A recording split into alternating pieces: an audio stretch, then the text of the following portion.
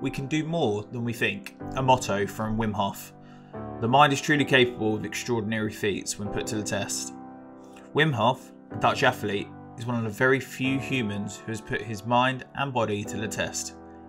His form of self discipline and endurance has been labelled by scientists as nothing short of superhuman.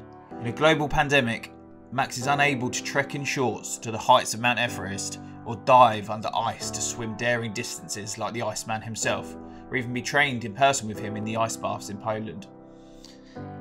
However, in a bid to improve his well-being, build awareness for mental health charities, and raise large sums for charity, he is pledged to spend 90 days visiting the freezing temperatures of Kent's coastline. At the start of Max's journey, I joined him, spending a meagre few minutes compared to the endurance and commitment of Max's 90 days. Max spent a few minutes before we traipsed into the freezing temperatures of the sea to explain the three pillars of Wim Hof's method cold water therapy, breathing, and commitment. Something that Max is demonstrating in all areas.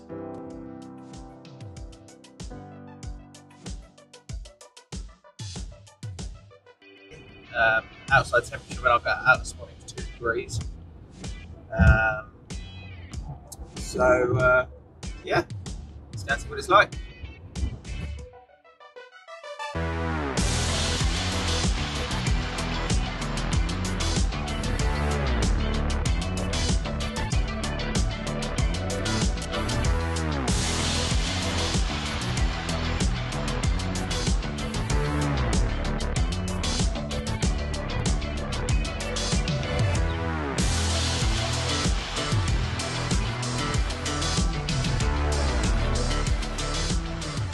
What did you say to do? Put my hands on my thighs. Yeah, I mean, everyone has a different, a different way of doing it. I, I do it for, um, it's almost like a meditation sort of thing, because you don't want to think about the cold and you don't want to think about the warm. Yeah. That's if anything, you want to think about the cold, but you want to like, think. Oh, it's okay. It's okay. yeah, and you just get used to it. Yeah. But when I put my hands on my thighs, it's like, um, I don't know, you can feel a bit of warmth. I did that last night in the shower, and I was like, oh my god, he's right. You can actually feel the warmth coming Yeah. from your legs.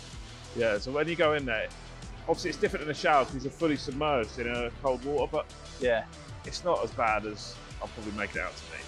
Probably Yeah, well, I'd rather you do that. so then when I'm in there. yeah, you'll probably find it easy. Um, but just staying there for as long as you get.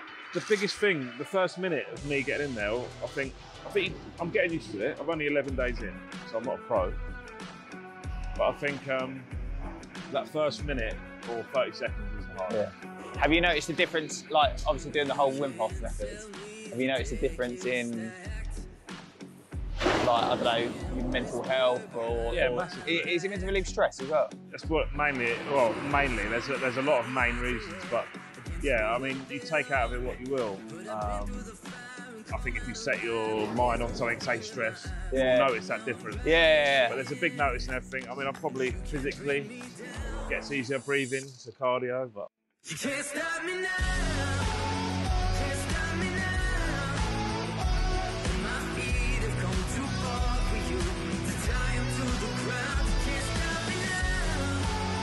Can't stop me now. Set my sights on where I'm going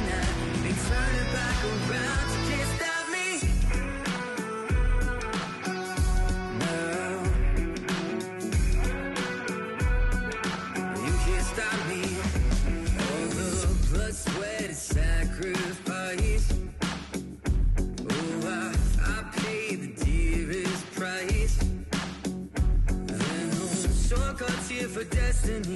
I'll take the long way proud. Let it burn. My time is rising. And you can't bring me down, can't stop me now. Can't stop me now. My feet have come too far for you to die. So I've just done it. Um, much better than I thought. I was aiming for a minute. Um, and got to three minutes, so I was pretty chuffed with that. Um, once I got out, it's really strange. Once I got out, um, it was. I felt like I should have done more because I felt warm. It was really weird. Um, once I was out, I thought I'd want to get changed and get in the car and get really warm instantly, but I was like just chilling on the beach, um, which was really strange. Um, but I think I, I might go back in a, a few weeks' time uh, once Max is further in and see if I can uh, last uh, any longer. Max has now raised over £2,000 for Mental Health UK and it's climbing quickly. And I implore you to follow his Instagram at shiveringsmith90 or donate to his GoFundMe page. Thank you all for listening to the end and let me know in the comments about your experiences with cold water exposure and the Wim Hof method. Thank you.